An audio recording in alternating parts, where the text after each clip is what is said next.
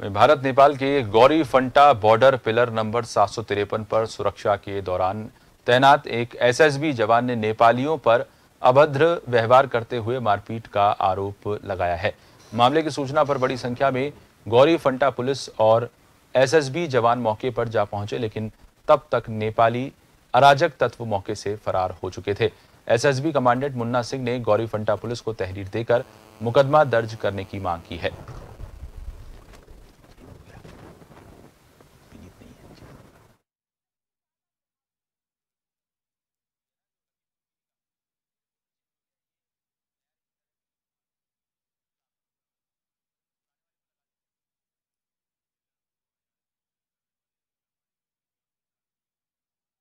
बल सदस्य जो एसएसबी का था,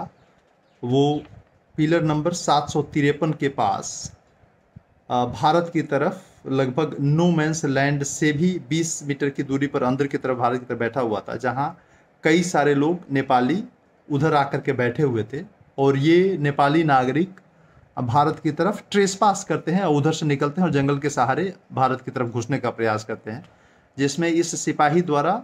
पूछताछ किए जाने पर वहाँ जमा लोगों ने उसके साथ गाली गलौज और अभद्र व्यवहार किया।